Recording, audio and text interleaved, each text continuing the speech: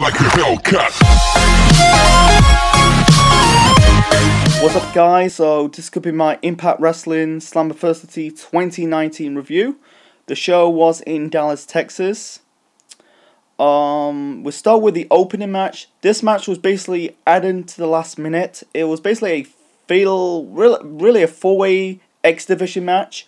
Um, the, the competitors were Willie Mack, TJP, Jake Crist representing OVE, and Trey Miguel representing the Radicals. And this was a good match, you know, a good way to kick off the pay per view.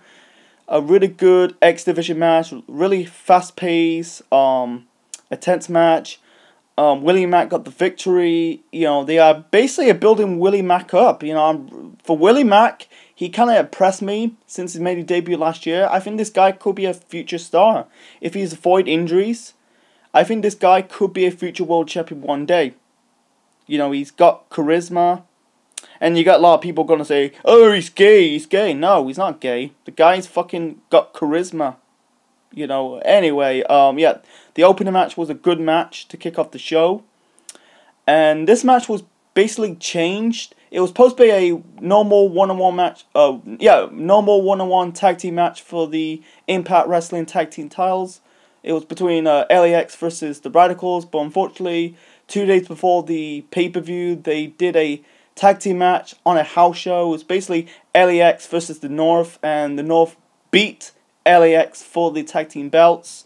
So it's now a freeway for the Impact Wrestling Tag Team Championships. The North, the new champions, that is um, Ethan Page and Josh Alexander, versus LAX, the former champs, that is um, Ortiz and Santana, versus the Radicals, that is, uh, was it Desmond, Ale- uh, Xavier, and um, Zachary Wentz. You know, I can't really pronounce the name properly, don't remember. Um, and this this tag team match was good. It was like sometimes I don't like freeways or four way tag team match. There could be car crashes, but this was good. A lot of fa- fast pace, a lot of tag team maneuvers, and the North retained the tag team belts on the show because they just really won the belts. It makes no sense to have the the guy um won the belt. They won the belt on a house show or a pay per view, the previous pay per view, and went on to drop the belt at the following month's pay per view. So yeah, the North retains. So it's gonna be basically it's gonna be a feud between LAX and the North. And then we got basically we got a hardcore match. Um, Eddie Edwards versus Killer Kross. I'm guessing this is Killer Kross's final Impact Wrestling match. I'm not too sure. Anyway, this match was good, and uh, Killer Kross was wearing face paint and it was physical. A lot like they used chairs throughout the match. You had one moment you had like basically Killer Kross kind of like scoop Eddie Edwards into the piles of chairs. They used um, Kenny the candlestick. At the end of the match, you had like Eddie Edwards kind of perform this type of um, sit down powerbomb onto Killer Kross. I think it was in the same piles of chairs, and Eddie Edwards beat Killer Kross. He kind of tapped him, not tapped him out, kind of bleed him out kind of used the uh, candlestick as a weapon, kind of choked him out with the candlestick. Uh, Killer Kross did not tapped out. He kind of bleed out. Oh, no, not bleed out. Uh, more like, basically passed out. You know, you know, Killer Kross character looks strong, and I hope it's not his final match in Impact Wrestling. I really like Killer Kross, but who knows? So it's a good win for Eddie Edwards. Okay, and then we got yeah, we got RVD versus Moose. This match was okay. It wasn't bad, but it was okay. It wasn't. It was good, but not great. Yeah, RVD for me still can go, but let's be honest. I think he's past his prime, man. I'm not being negative. I like RVD, but he's just too old. But you know, yeah, yeah, you know, it's just what it is. You know, like they used the. I think Moose used to try to hit him with the chair, but RVD kind of you hit him with a roundhouse kick, and I think he hit him with a DDT. He was about to hit the the frog splash, but Moose got out of the way, hit the spear, and Moose got the, scored the victory. You know, I think like I said in my predictions on my Central Man Network um, channel that I I rather see a young, a young, uh, the old guy putting over the young guy. So Moose got the victory. And then moving on to the four-way Monsters Brawl match for the Knockouts Championship. Um, the contenders are Taya Valkyrie, the champion, defending the belt against Rosemary, Su Yung, and Jessica Jessica Havoc. Yeah, in my opinion, this is match of the night. One moment of the match, you had Taya Valkyrie kind of like stapled this type a picture onto Su Yung's face. That was sick. They did this move with the ladder.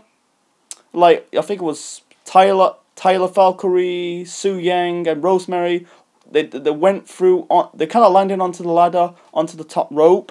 That was sick. They used the tacks like had uh, Taya Valkyrie kind of stumped uh, Rosemary on the head, kind of stumped it into the tacks. In the end, you had like basically you had uh, Jessica Havoc kind of perform this power driver. I think it's on Su Yung or Rosemary onto the power attack. That was super sick. Uh, Taya hit Jessica Havoc, kind of threw the chair onto Havoc.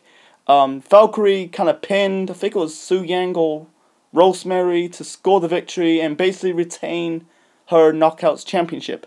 And this was, my opinion, match of the night. Okay, and then we got, yep, we got the X Division match. For the X Div not X Division match, we got the match for the X Division Championship, Rich Swann versus Johnny Impact, and this match was good. It was a lot of fast pace. You had um, basically at some point you had Johnny uh, Johnny Impact kind of perform the Spanish Fly. It was this type of C4 type of move. I think on three or four times. Um, he hit the Starship Pain on Rich Swann. Rich Swann kicked out from that. In the end, you had uh, Rich Swann hit the uh, he hit uh, Johnny Impact's manager, hit the Phoenix Splash onto Impact to to retain his X Division Championship you know, what's next for Johnny, uh, Johnny Impact? I think it's back to the drawing board. And then we got the imp- we got the match, we got the the world title match. Uh, Johnny Cage, the uh, not Johnny Cage, Brian Cage, the um hmm, the Impact World Champion, defending the belt against Michael Elgin, and this match was good. You know, that multiple times like Elgin hit this type of power sit down power bomb. Cage kind of kicked out from that. They're both powerhouses, and it was really good. Um, you know, I think like Elgin was about to do another power bomb, but instead Cage kind of like sit down to Elgin, pin. Um, really, it was not really a small package. He basically sat on Elgin. Referee did the free count, and basically Cage re- basically retained his Impact World title. And this was his first title defense, and then uh, Michael Elgin got pissed off attacked Brian Cage, and then some mysterious guy in black came out of nowhere, speared uh, Michael Elgin. Mike thinks that is Rhino. Basically, Rhino hit the gore on Elgin, so it's basically it's going to be Michael Elgin versus Rhino. Who, who knows? And moving on to the main event. The main event, we got an intergender match. Um, Sami Callihan versus Tessa Blanchard, and this was fucking good. For Tessa Blanchard, she took a, bit, a beating like a man. Like Sami Callihan kind of throwed her like a rag doll into the barricade outside of the ring. Tessa Blanchard kind of hit the um cutter out into the ramp. That was sick. You know, the referee got knocked out after, you know, Tessa hit the referee. Sami Callihan hit the um kind of hit Tessa with the baseball bat and Tessa hit Sami Callihan with the um, low blow. But you know, yeah, Sami Callihan hit the um, power drive on Tessa Blanchard after you know he kind of at one match you had Tessa kind of locked Sami Callihan with a submission hold, but Sami count- counter hit this type of power driver. He hit the another power driver again, a normal power driver on Tessa to score the victory. And for uh, for Sami Callihan, I think this guy needs to be in the world title picture. For Tessa Blanchard, I could see another a rematch, but who knows? But you know, overall, T, uh, Impact Wrestling Slammiversary 2019 For me personally, I think it was a good show from top to bottom. They deliver a good show. You know, there is no bad in this match. Uh, no, there is no bad in this show. I think the the wrestlers in the company throughout competing in that show gave 100%, 110% upon an- another awesome show by Impact Wrestling. So that is Slammiversary 2019 review. Hope you enjoy it. Like, share, subscribe. We'll see you next time.